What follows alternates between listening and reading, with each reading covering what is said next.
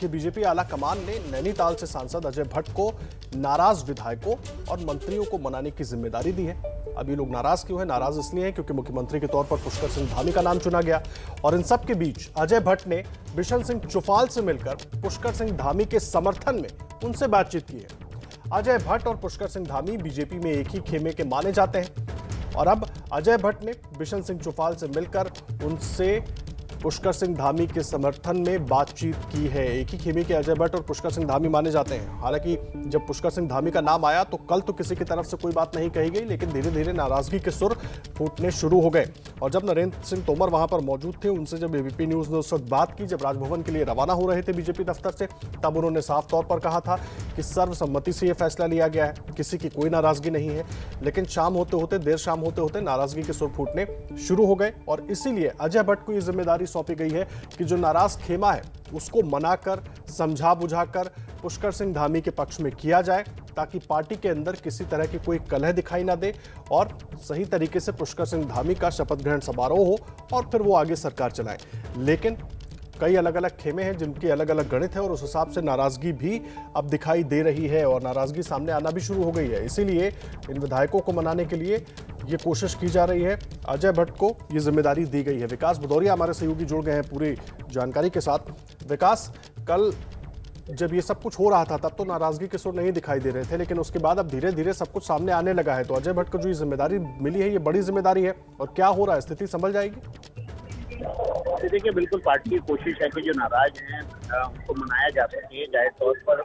जब एक युवा को नेतृत्व मिलता है तो जो अनुभवी और बुज़ुर्ग नेता होते हैं, उनको, उनके साथ सामंजस्य बिठाने में दिक्कत होती है। पार्टी इसको बड़े दिल से ले रही है और प्रदेश अध्यक्ष अजय भट्ट को माफ़ कीजिएगा, अजय भट्ट को ये ज़िम्मेदारी दी गई है और प्रदेश अध्यक्ष के साथ ही साथ मदन कौशिक को भी ज़िम्मेदारी दी गई है कि वो तमाम नेताओं से जो नाराज़ हैं, चाहे उसमें सतपाल महाराज हों, चाहे हरक सिंह रावत हो, चाहे विशन सिंह चौहान हो, चाहे हरवंश कपूर हो, सभी को मनाकर उनको बोर्ड पर लाया जाए और जो भी नाराज़गी के उनके बिंदु हैं, उनको खत्म करके और नेतृत्व में जब शाम को मंत्रिमंडल का विस्तार हो तो सभी लोग वहाँ पर ठीक है तो आज जब शाम को शपथ ग्रहण होगा पुष्कर सिंह धामी का तो उसमें क्या कुछ मंत्री मंत्री भी हो सकते हैं या कुछ बदलाव हो सकता है मंत्रिमंडल में? इस तरह की भी कोई खबर है क्या विकास?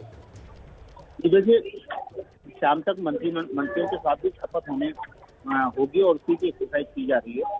और इसलिए तमाम जो नाराज़ नेता हैं उनको भी मनाने की कोशिश की जा रही है। ताकि शाम को जब मुख्यमंत्री पुष्कर सिंह धामी की शपथ हो तो उसमें तमाम मंत्री जिनको तीरथ सिंह रावत की सरकार में जगह दी गई थी वे भी मंत्री पद की शपथ ले सके।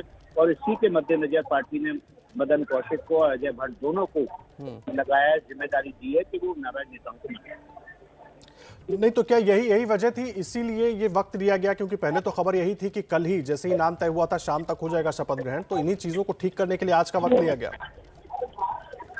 देखिए नया मंत्रिमंडल का गठन होना था कि ज़ाहिर तौर पर एक्सरसाइज की ज़रूरत थी और तमाम नेताओं के साथ बातचीत करके सभी गुटों का सामंजस्य बैठा के अनुभवी और युवा चरणों को तरजीह देकर एक मंत्रिमंडल का गठन करना था हम्म। उसके लिए वक्त की ज़रूरत तो थी ही लेकिन ये जो नाराज़गी है ये इसलिए है क्योंकि तमाम जो अनुभवी नेता हैं हम्म। उनको दरकिनार करके युवा चेहरे को उनके ऊपर बिठा दिया गया मुख्यमंत्री बना दिया गया बिशन सिंह चौहान पाँच बार के विधायक प्रदेश अध्यक्ष रह चुके हैं। उनको उम्मीद थी कि शायद उनको मुख्यमंत्री बनाया जाएगा। वे नाराज़ हैं। सतपाल महाराज हम्म। लगातार केंद्रीय मंत्री रहे विधायक भी हैं पाँच बार के।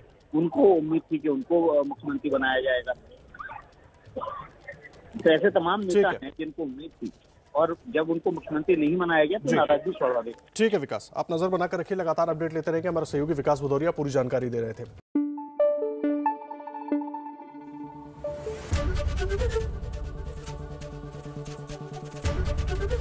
ABP News. आपको रखे आगे।